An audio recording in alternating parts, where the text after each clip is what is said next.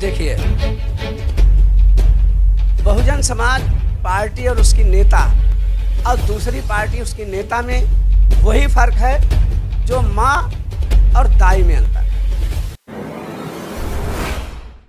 नवोदय जय भीम साथियों, मैं हूँ आज हरदोई में और लगातार एक पोस्टर जो आप अभी देख रहे हैं, ये पोस्टर पूरे देश के अंदर चर्चा का विषय बना हुआ है। कोरोना काल के बाद, एक बहुत लंबे समय के बाद हमें और आपको देखने को मिलेंगे। बाबा साहब के परपौत्र राज रतन अंबेडकर जी हरदोई में पाँच फरवरी को।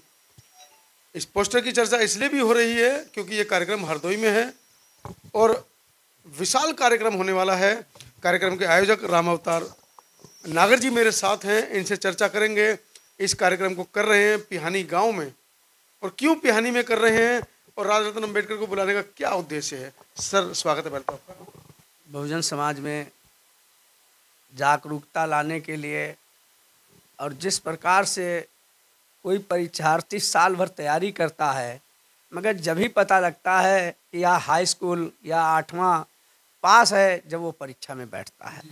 इसलिए मानी राजरतन जी, जो हमारे भारत देश के संविधान निर्माता हैं, उनके वंश से हैं, उनके परिवार से हैं उस समय हम लोग नहीं थे या उस समय होशोवास में नहीं थे या उस समय जब जागरूक नहीं हम तब पैदा हुए थे। बाबा साहब 6 दिसंबर उन्नीस सौ छप्पन को इस देश का संविधान बना करके और जो जानवरों जैसी ज़िंदगी व्यतीत कर रहे थे, उनको मानव का दर्जा दिला करके हम लोगों के बीच से 6 दिसंबर उन्नीस सौ छप्पन को महापरिनिर्वाण को प्राप्त हो गए। हम उस समय चार पाँच साल के रहे होंगे, हमने बाबा साहब को नहीं देख पाया, न उनको। आज मुझे राज रतन के माध्यम से हमें ऐसा सुअवसर, एक महान संत जो हमारे समाज में, जिन्होंने रूढ़ियों के खिलाफ, कुरूतियों के खिलाफ लड़कर के हमारे वंश को, हमारे समुदाय को जीवित रखने का काम किया। महान संत शिरोमणि गुरु रविदास जी की जयंती है। उस जयंती के शुभ अवसर पर राजरतन बाबा साहब के परिवार से हैं, हमारी हरदोई की धरती पर पधार रहे हैं। मैं उनका और मेरे पूरे समाज के लोग, मेरे जनपद के लोगों को उनके दर्शन करने का मौका मिलेगा, शुभ अवसर प्राप्त होगा। दूसरी चीज़, इसके साथ साथ भारी पैमाने पर जब लोग इकट्ठे होंगे तो लोगों को हमारी तादाद की भी जानकारी होगी। और हमारे संगठन के विषय में भी लोग जान सकेंगे कि संगठन में कितने लोग संगठित हैं, किस पैमाने पर, किसी मुसीबत पर आने पर लोग एकत्रित हो सकते हैं।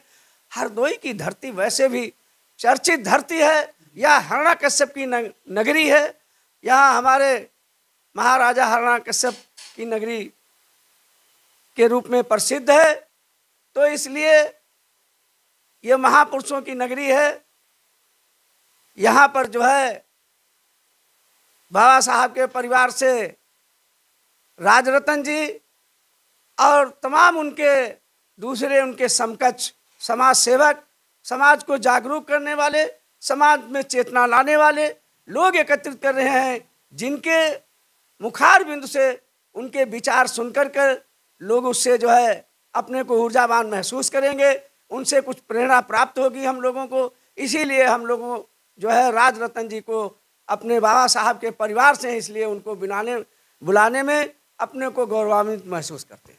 साथियों, पाँच फरवरी को बड़ा कार्यक्रम है हरदोई के पिहानी में और को राहुल नागपाल को सुनने का मौका मिलेगा, नीरज पटेल को सुनने का मौका मिलेगा, प्रोफेसर रतन लाल जी को सुनने का मौका मिलेगा और साथ ही साथ बाबा साहब के, जैसा कि नागर साहब ने बताया कि बाबा साहब के प्रपोत्र, बाबा साहब के खून, बाबा साहब के ब्लड पहुँच रहे हैं आप लोगों के बीच में तो कोई ज़्यादा से ज़्यादा संख्या में पाँच फरवरी को हरदोई पहुँचे और इस ऐतिहासिक लम्हे का आपको भी ए, कह सकते हैं कि हिस्सा बनने का मौका मिलेगा।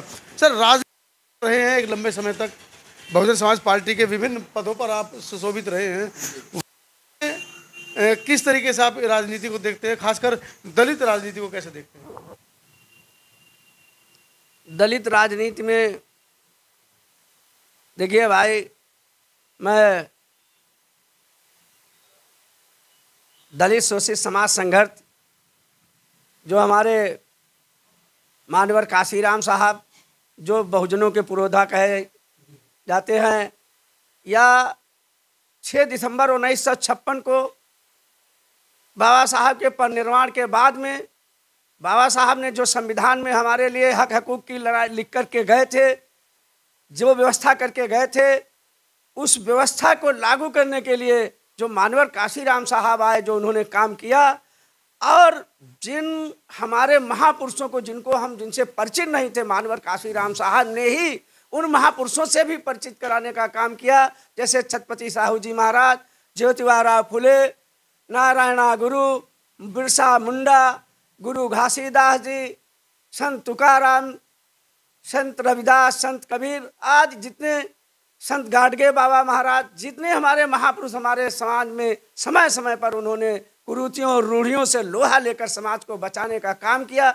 समाज को जीवित रखने का काम किया, उन सबका दर्शन शास्त्र हम लोगों तक तो पहुँचाने का काम जो किया, वो मानवर काशी राम साहब ने ही किया, और उसी दर्शन शास्त्र के तहत उन्होंने सबसे पहले बाम सेब का गठन किया, उसके बाद में डी का गठन किया मैं डी एस फोर में उन्नीस सौ तिरासी में मैं इंटर करके लखनऊ में पढ़ने गया था उसी जी।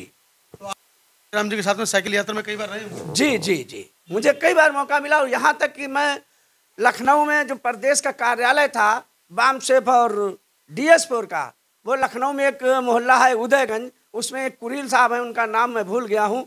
उनके कुरील साहब के मकान में कार्यालय चलता था।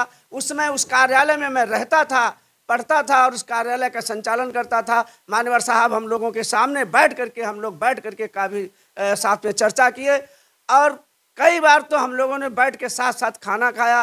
रैलियों में, साइकिल में भी उनके साथ गए हैं। लखनऊ से प्रतापगढ़ की रैली में हम साइकिल से गए हैं। लखनऊ से सीतापुर हम साइकिल से गए। लखनऊ से लखीमपुर हम साइकिल से गए। लखनऊ से हम कानपुर में फूलबाग एक मैदान है। वहाँ पर भी मानवर काशीराम साहब ने आरक्षण समर्थक क्षेत्रीय सम्मेलन की सभा की थी। जिसमें हम लोग साइकिल से करीब करीब तीस पैंतीस लोग यहाँ से जो है कानपुर गए थे। राजनीति की चर्चा चल रही है जैसे मैंने पूछा कि वर्तमान में दलित राजनीति को किस तरह से देखते हैं चाहे वो लालू यादव जी हों लालू प्रसाद यादव जी हों चाहे इधर नीतीश हों चाहे इधर बहन कुमारी मायावती जी हों उधर अखिलेश यादव हों सभी लोग मिलकर कोशिश कर रहे हैं लेकिन वो सफल नहीं हो पा देखिए